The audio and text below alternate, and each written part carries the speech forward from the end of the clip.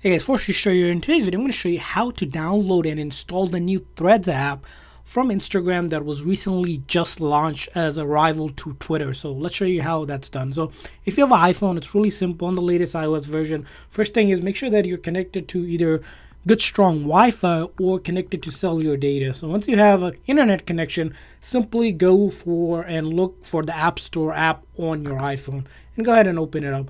Once you open that up it should look something like this and you want to click on very top right here and verify that your apple id is signed in. If it's not or if you want to create a new one if you don't have one you can use the button that says create a new one that will be underneath if you didn't sign in but you'll need apple id in order to download any apps so once you have that the next thing you can do is go to a search bar here and then go search threads so it's threads and it'll say an Instagram app. And you'll see the very first one. This is the current version of the app. You can verify it's from Instagram.inc.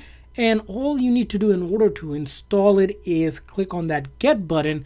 And once you do that, it's going to ask you to either enter your phone's passcode or might ask you for your Apple ID one more time, or just simply double click here or Touch ID if you have Touch ID to verify your identity for you to be able to download and install apps just like that. And after you do that, as you can see, it's starting to download for us. It will take a moment or so. Now, if you can download it, make sure that if you go down here that your device is compatible. As you can see here, Threads currently require for iPhone iOS 14 or later. So that's one thing to keep in mind that if you have older version iOS, you need to update your phone but as you can see here still downloading here which is good we can exit out of the app if we like and then we can also go down on and swipe all the way to the very last page here in the app library and see under recently added the threads app is being still downloading and then also we'll install and then we can add it to our home screen and get started. So as you can see here once it finishes it's going to look something like that.